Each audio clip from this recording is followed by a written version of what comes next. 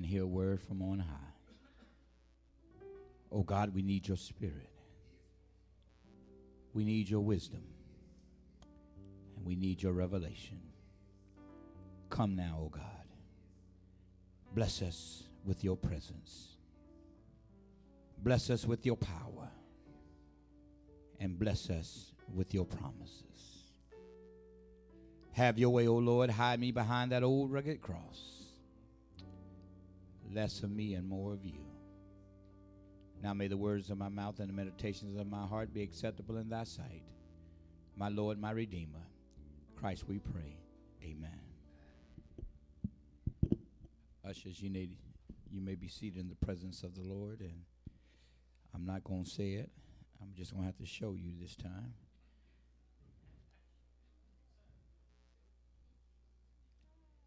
Our scripture text has been read, but let me lift up for today's thought Isaiah, the 40th chapter, focusing on third, 28 and 31. 28 through 31. Hast thou not known?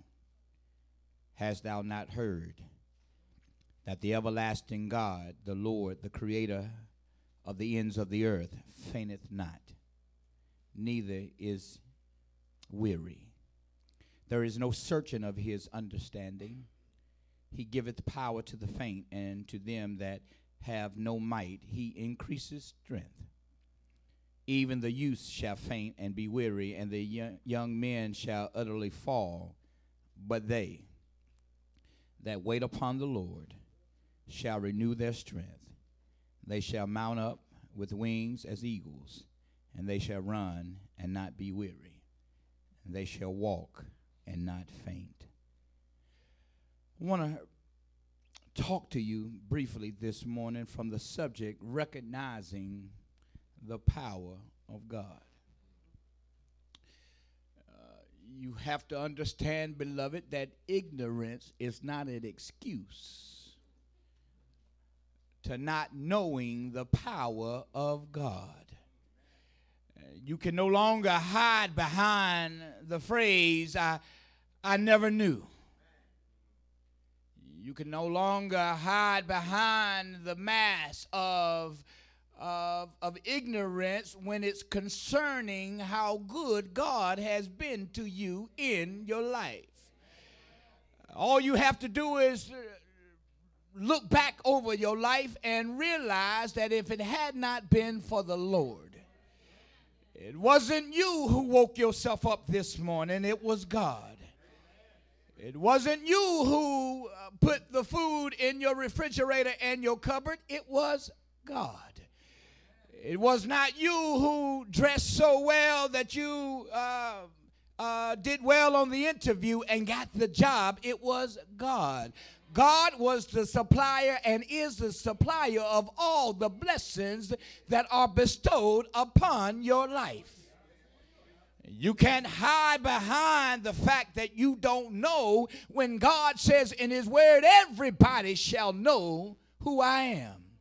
Jeremiah 33 31 says, You don't have to tell anyone that they need to know the Lord, for they all shall know me, from the littlest one to the oldest. They shall know that I am their God, and they shall be my people. He says that he's going to write it upon the hearts, and everybody will know.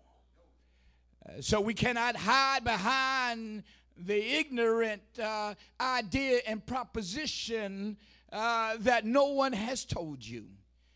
Here in our text, Judah allowed their ignorance to blind uh, them from recognizing the sovereignty and the power of God.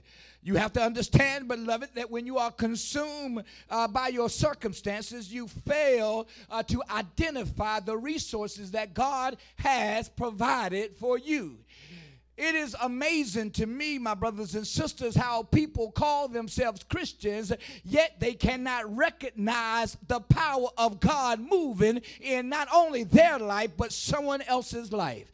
It, it, it, behooves me, my brothers and sisters, that, that we are bind, binded by ignorance, uh, that we cannot see God moving even in His creation. Uh, the birds never complain when the storm comes. The trees never stop giving God praise when there's a wind. But yet, here we are, God's creation. Think it robbery to give God praise for what God has already done. It's interesting, my brothers and sisters, that you can't get no amens or hallelujahs or thank you, Jesus, from folk who claim to be Christians.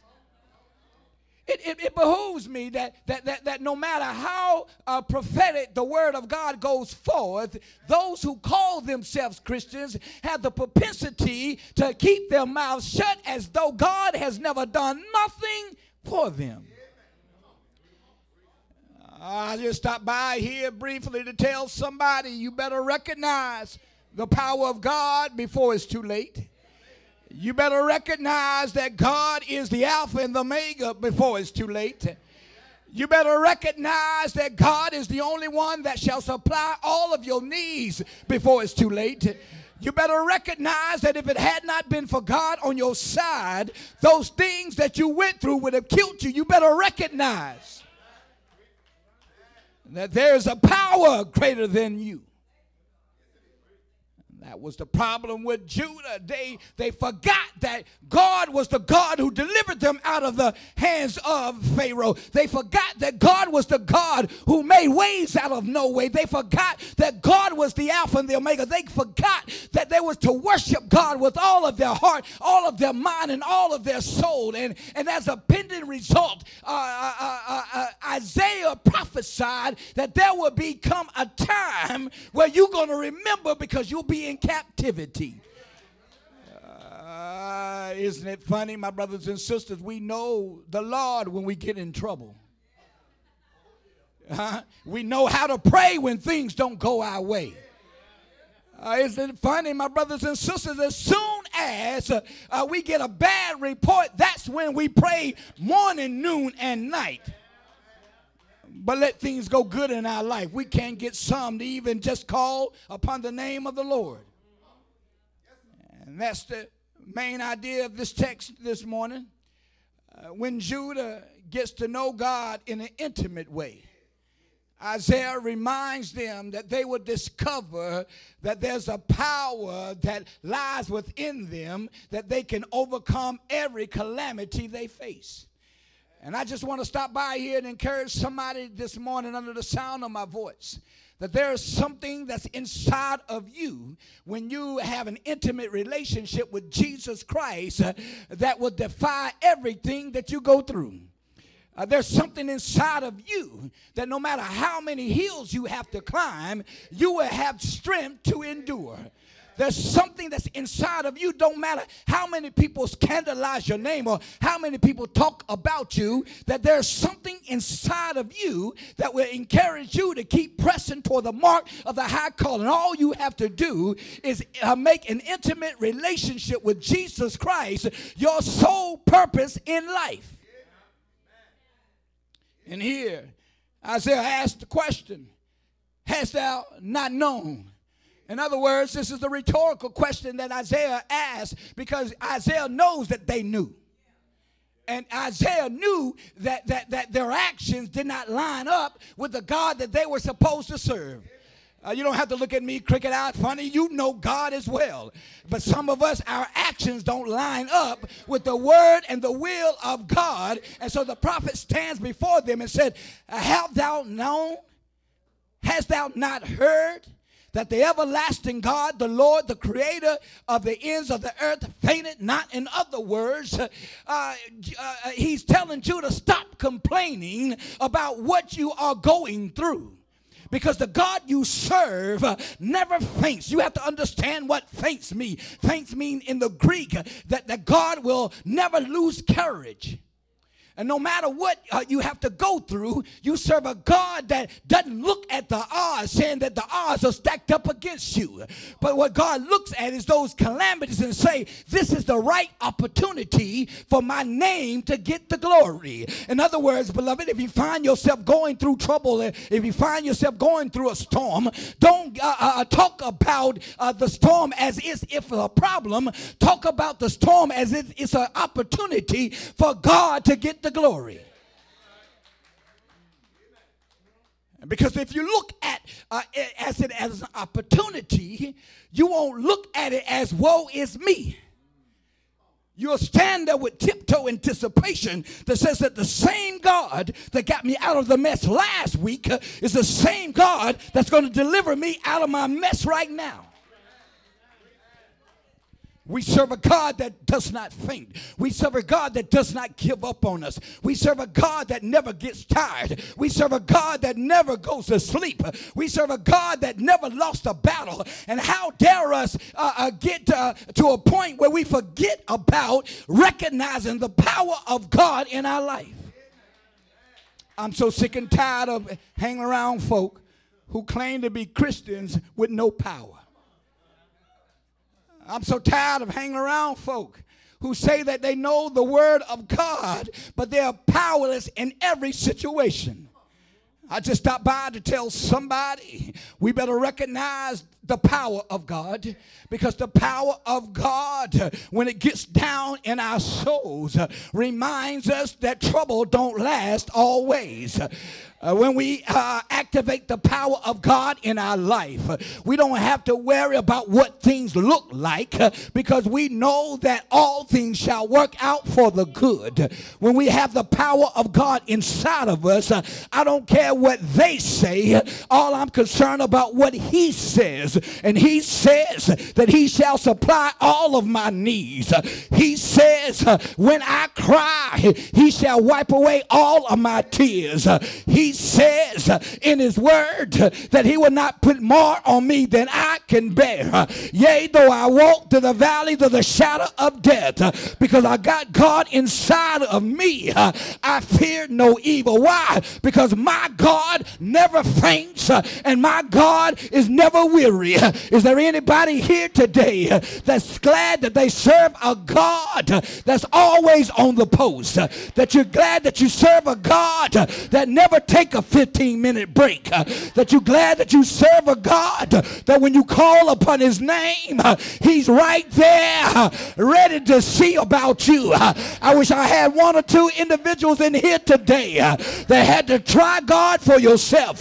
When your back was against the wall and people ran out on you, you fell down on your knees and called on the name of Jesus. Didn't he show up? I wish I had somebody that don't mind testifying that he showed up right on time.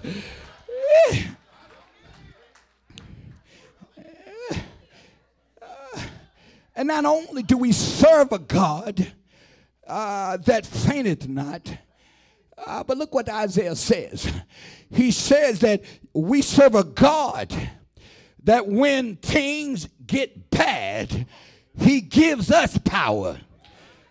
Y'all don't know when to shout. Y'all don't know when to shout. Y'all don't know when to shout. When, when your back is against the wall, God loves us so much that he gives his power to us. Y'all don't know when to shout. Y'all, uh, what are you trying to say? Well, here it is. When you find yourself uh, in a tight situation, uh, you don't have to try to circumvent your exit. All you have to do is tap into the power of God. Oh, I wish I had a praying church up in here that knows that when you tap into the power of God, that no weapon formed against you will ever prosper. I wish I had a praying church up in here that know when you tap into the power of God, you tap into God's possibilities. And even though it don't look like things are going to happen because God dwells inside of you, it's got to happen.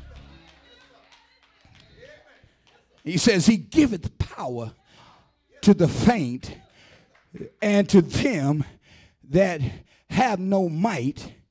He increases strength. Isaiah had a good way of putting it uh, to us here. And basically, what he's saying here is this when you have done all you can do, uh, and you can't go no further, you're in the right place for God to transfer his anointing to you. The reason why some of us cannot get the anointing of God is because we believe that we can do it ourselves. Uh, I'm so sick and tired of super mighty big Christians uh, uh, that want to carry the load all themselves. Uh, sometimes I get tired uh, and sometimes I got to pump my brakes. Uh, and when I pump my brakes, God tells me that when you are weak, then I am made strong. and I now I understand it now because when I can't go no further. I look back and the footprints are bigger than my size 13. I realized I was not moving in my own accord in the first place. I was being moved by the power of God. And when you realize that you've been moved by the power of God, you declare to God, whatever you do, whatever you send me, whatever you're doing in this place, I will follow and I will go. Why? Because it's not my will, but thy will be done. Good God Almighty. So he gives us power uh, and uh, he gives us strength. but he, here, here it is. He throws a monkey wrench in here. He tells us uh, that even the youth shall faint. Uh, and that's not uh, a physical analogy. we're not talking about little boys and little girls. what he's talking about here in the text are young, weak Christians, the ones who just came into the fold. yes, they are not, they don't have the experience uh, that a seasoned Christian has. Uh, a seasoned Christian has a testimony. A seasoned Christian has been through some things in their past. But a young Christian who's never gone through nothing, when they find their first uh, sign of hell in front of them, they're going to get weary because they never experienced God uh, and His power. But I just stopped by to tell somebody it's time to grow up uh, from a young child to a seasoned Christian. you got to have a testimony because the same God that raised Jesus from the dead is the same God that will remove, that will, that will resurrect uh, uh, your bad days. And that's what Isaiah is saying here in the text. Uh, he says, Even you shall faint and have weary and get weary, and the young men shall utterly fall. But they that wait on the Lord, come on, uh, come on, come on, Dick, I'm ready to go.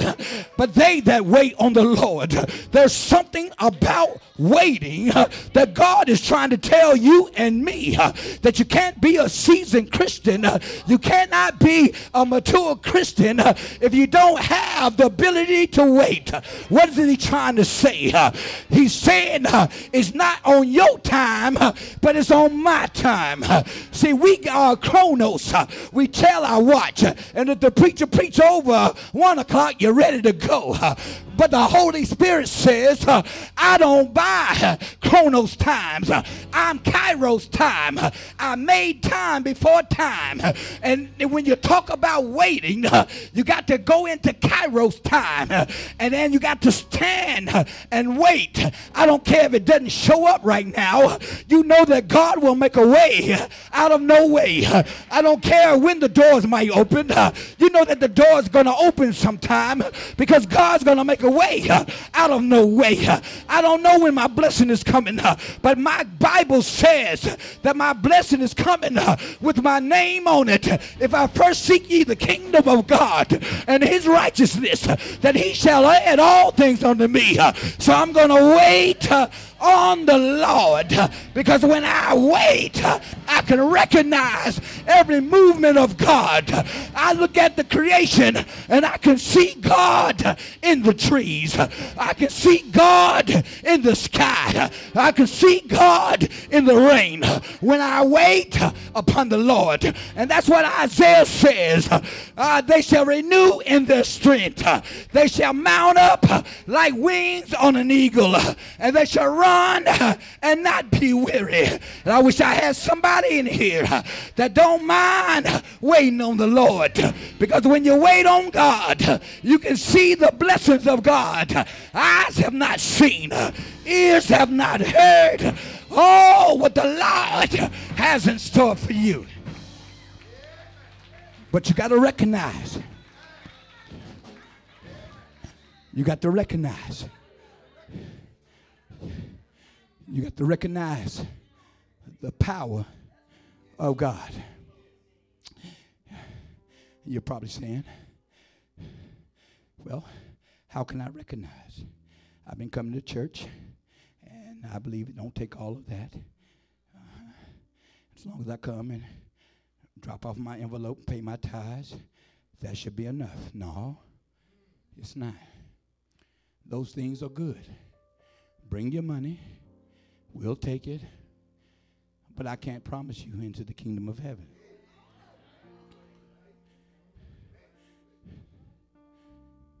I can tell you the things of God, but if you cannot recognize it for yourself, I can tell you what the Bible says, but if you do not learn it for yourself, I can tell you the importance of being controlled by the Holy Spirit. But if you're denying the power of the Holy Spirit to work in your life, you can come up to church every Sunday and every Wednesday all you want to. You can be the first one here to unlock the door and to lock the doors. But if you do not have a personal relationship with Jesus Christ, all you're doing is going through the motions and hoping, hoping by luck or chance that God forgets about all the hell you raised.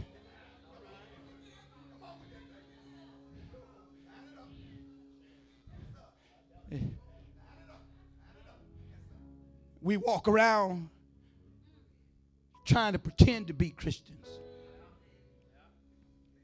And ain't no good in you. How can you try to control somebody else? You can't even control yourself. The prophet says here, listen here, you better recognize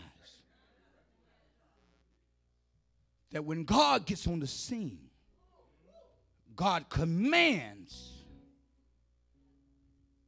He, he doesn't ask. He doesn't suggest. He's not going to plead with you. He's not going to negotiate with